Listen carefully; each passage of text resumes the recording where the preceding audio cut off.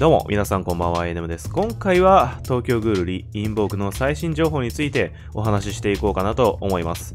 V ジャンプ公式チャンネルで公開された情報になります。本気のサイコが巨大カグネを叩き込む。覚醒後は敵前衛に対して強烈なダメージを与える上に麻痺させる効果も。というわけで、カグネを出したサイコがついにインボフェスに登場します。では早速スキルの方を見ていきましょう。スキル。うわーレベル5。敵前衛に攻撃力 ×8 倍の3連ダメージを与え、武器耐久値をマイナス8する。3ターンの間、敵前衛を麻痺状態にする。になります。3ターン前衛麻痺は、フェスゲンヒナミと確か同じですね。